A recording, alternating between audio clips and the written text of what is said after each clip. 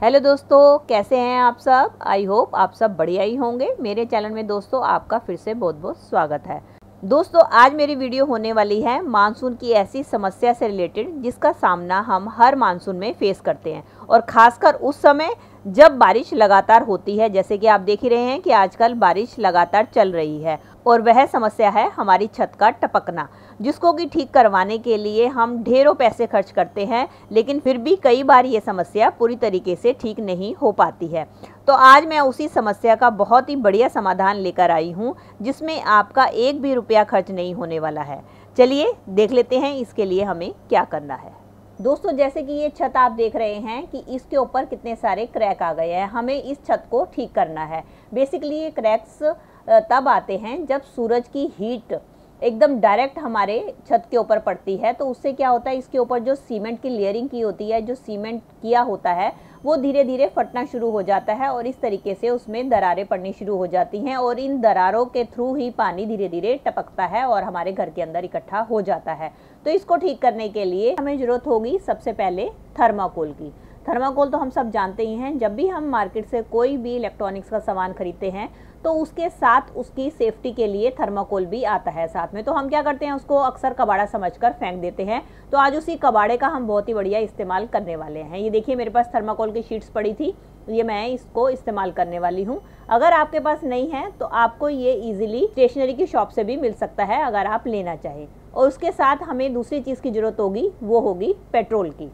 अब मैंने क्या किया है? एक मैंने बाल्टी ली है। उसके अंदर कम से कम मैंने 100 एम के आसपास पेट्रोल डाल दिया है। अब हम क्या करेंगे? जो भी हमारा थर्माकोल है, इसके हमें थोड़े थोड़े से पीसीस करने हैं और पीसीस करके हमने इसके अंदर डालते चले जाना है। और डालने के बाद आप देखेंगे कि इसका रिएक्शन कैसा होता है। जैसे ही आप थर्माकोल पेट्रोल के अंदर डालेंगे तो ये धीरे धीरे थर्माकोल इसके अंदर एकदम मेल्ट होता चला जाएगा। आपको वीडियो में दिखाई दे रहा होगा ये कैसे इसके अंदर घुलता चला जा रहा है। तो आपने ये जो सोल्यूशन बनाना है, आपने इतना बनाना है, अपनी छत के हिसाब से अपनी जो क्वांटिटी है, अपनी छत के हिसाब से आपने देखनी है कि आपकी छत पे कितने क्रैक आए हुए हैं या आपकी छत कितनी ज़्यादा क्रैक्ड हो चुकी है। उसके हिसाब से आप सोल्यूशन बना लें। और बनाने के बाद आपने क्या करना है, इसमें अपने हाथ का आपने बिल्कुल भी यूज़ नहीं करना है। आप कोई भी लकड़ी या लोहे का कोई भी औज़ार ले सकते हैं जिसकी मदद से आप इसको हिलाएँ। ऐसा करने के बाद इसको आप अच्छी तरीके से हिला लें। और थोड़ा जल्दी से हिलाएँ, क्योंकि ये कुछ ही समय के बाद ये जमना शुरू हो जाता है। तो आप इस प्रोसेस को थोड़ा जल्दी करें तो ज़्यादा बेटर होगा। और ये जब जम जाता है तो आप देखेंगे ये बिल्कुल एकदम ग्लू की तरह हो जाता है। एल्फी भी इसके आगे फेल हो जाती है। इसको मैं दिखा रही हूँ कि जैसे देखिए थोड़ा सा हाथ पे लग गया है तो कैसे ये हाथ के ऊपर भी चिपकने लगा है। जैसे एल्फी चिपकती है, उसी तरीके से ये चिपकने लगता है। अब आपने क्या करना है? अब ये जो आपका सोल्यूशन सारा बनकर तैयार हो गया है, इसको आपने कैसे अप्लाई करना है? आपने लेना है कोई भी ब्रश और ब्रश की मदद से आपके छत पर जहाँ जहाँ भी क्रैक्स आए हुए हैं, उसके ऊपर आपने ब्रश की मदद से इसको लगाते जाना है।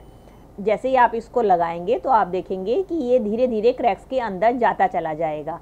फिर भी आपको क्रैक्स दिखाई देंगे। तो आपने क्या करना है, जब ये एक लेयरिंग पूरी हो जाए और थोड़ा सा ये सूखने लग जाए तो आपने इसको अच्छी तरीके से और भी मज़बूत बनाने के लिए आपने इसकी सेकेंड लेयरिंग करनी है। जैसे ही आप सेकेंड लेयरिंग करेंगे तो आप देखेंगे जो आपके जो क्रैक्स हैं, वो धीरे धीरे बंद होते आपको दिखाई देंगे। और ये देखिए मेरा फाइनल लुक मैं आपको दिखाती हूँ कि जैसे ही मैंने सेकेंड लेयरिंग की है तो इसके क्रैक्स भी धीरे धीरे आपको बंद होते दिखाई देंगे। और जैसे ही ये लग जाएगी तो ये बिल्कुल आपको एक शीशे की तरह दिखाई देगा। कि उसके ऊपर एक शीशे की कोटिंग हो गई है। जैसे कि हम सब जानते ही हैं कि शीशा आपको पता है, जहाँ भी लगा होता है, उसके ऊपर आप जितना भी पानी डालें या कोई सामान डालें तो उसके आर पार जो है नहीं जाता है। तो इस तरीके से एक शीशे की तरह हो जाएगा। तो दोस्तों, इस तरीके से आपका क्रैक्स ये बिल्कुल ठीक हो जाएगा और इससे आपका जो है पानी टपकना बिल्कुल बंद हो जाएगा।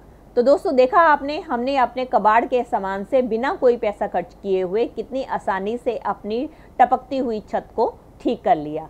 तो दोस्तों, ये थी मेरी आज की वीडियो। आई होप आपके लिए यूज़फुल रही होगी। अगर दोस्तों, आपको मेरी वीडियो ज़रा सी भी हेल्पफुल लगी है तो प्लीज़ इसे लाइक करेगा और ज़्यादा से ज़्यादा शेयर कीजिएगा, ताकि आपके कोई भी फ्रेंड्स या जो भी आपके इस दिक्कत से परेशान है, उनको इस समस्या का समाधान मिल सके। और आप मुझे कमेंट करके बताइए कि आपको ये वीडियो कैसी लगी। चलिए दोस्तों, मिलती हूँ नई वीडियो में। Till then take care and bye bye